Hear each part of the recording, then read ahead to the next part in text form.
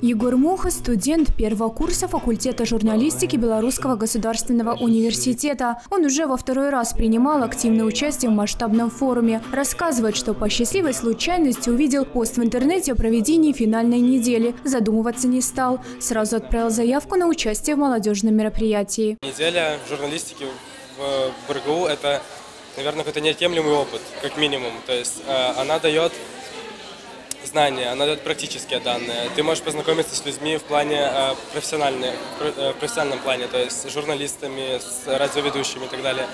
Э, просто с людьми интересными для себя, как сверстники, либо будущие, возможно, коллеги твои. То есть это, ну, это очень круто, очень хорошо даже ну, во всех планах. Брест Миллениум БРГУ. Под таким слоганом стартовала завершающая неделя мастеров пера и слова. Школьники и студенты из Витебска, Гродно, Ганцевичи и Минска, представители различных учебных учреждений собрались на одной площадке – филологическом факультете с целью обменяться опытами, отточить журналистское мастерство. Количество традиционно достаточно большое, более 100 участников. Будем стараться сделать все, чтобы эта неделя запомнилась. И мы решили, что в этом году сезон будет последним, финальным.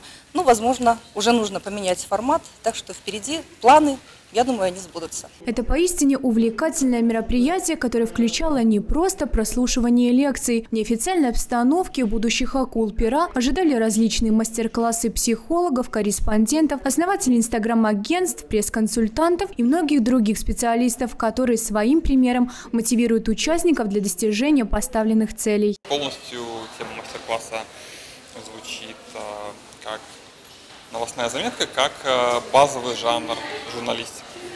А, и готов рассказать студентам, поделиться своими навыками, своим опытом, своим умением о том, как это делается, как э, пишется новость, потому что любой журналист, в принципе, сталкивается с э, тем, что любой журналистский материал, он основан на таком жанре, как новость, как новостная заметка. Журналистика открывает двери в новый мир. В этом еще раз убедилась современная пресса в лице участников. Особенностью медиаквеста стал не печатный журналистский текст, который практиковался в предыдущие годы, а создание нового видеопродукта – презентационного ролика о городе над Бугом, приуроченном к приближающемуся тысячелетию. Неделя журналистики – это классная возможность для участников поучиться чему-то новому, повзаимодействовать в неформальной атмосфере, познакомиться, подружиться. Мы действительно постоянно общаемся и вне недели, мы ездим друг к другу в гости, мы очень рады видеть тех ребят, которые к нам приезжают из года в год, очень рады видеть новые лица.